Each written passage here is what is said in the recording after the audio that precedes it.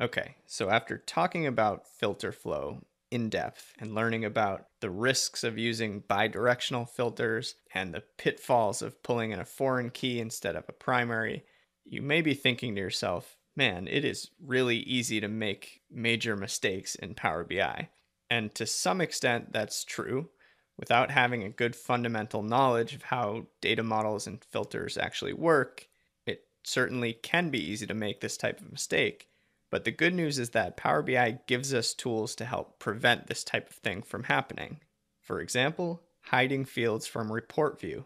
Now, in either your data view or your relationships view, you'll have this option called hide in report view. And you can simply right click on either a column, a field, a measure, or an entire table and choose this hide in report view option. And what that does is essentially make that field or table inaccessible from the report tab. It makes it invisible.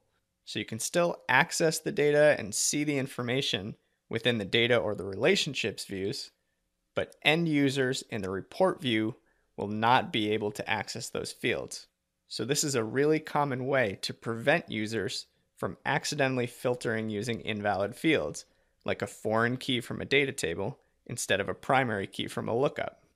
So pro tip here, my recommendation in general is to hide the foreign key columns in your data tables, which will force users to filter using the primary keys from the lookups, since that's the only option they have left.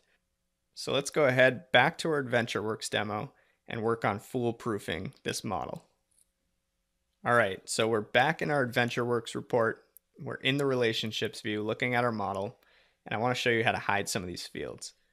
First of all, you can select an entire table, right click the header, and hide a whole table from report view, which will essentially gray it out.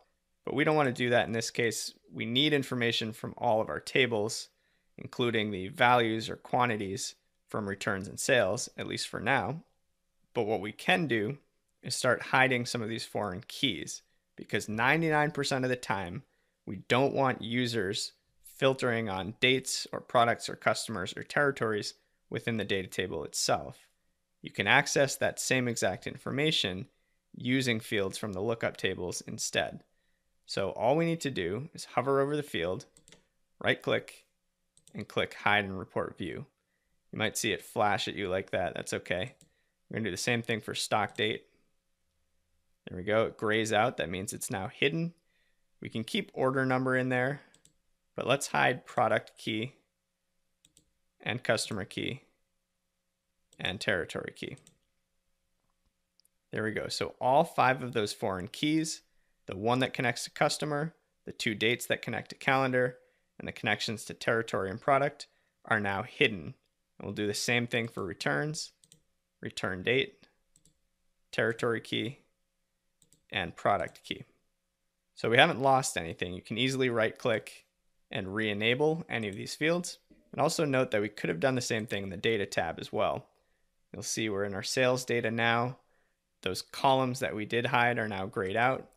You could also select or right click the column header and choose the hide and report view option there as well. Just two ways to do the exact same thing. So now here's the real impact.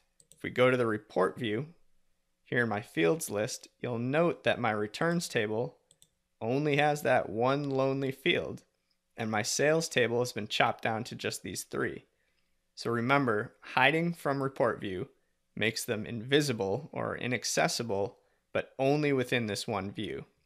So there you have it. That's a great way to foolproof your data model and your Power BI reports by hiding fields from report view.